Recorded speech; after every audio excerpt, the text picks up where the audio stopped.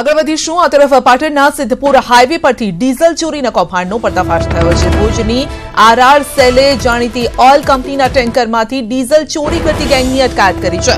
આ ટોળકી ટેન્કરમાંથી ડીઝલ કાઢી લેવામાં માહિર હતી અને ચોરી કરેલું ડીઝલ બજાર કરતા લોકોને સસ્તા દરે વેચતા હતા. તો પોલીસે ડીઝલ ભરેલા ટેન્કર સહિત ત્રેવીસ પાંચ લાખનો મુદ્દામાલ જપ્ત કર્યો છે અને પાંચ વ્યક્તિઓની અટકાયત પણ કરી છે.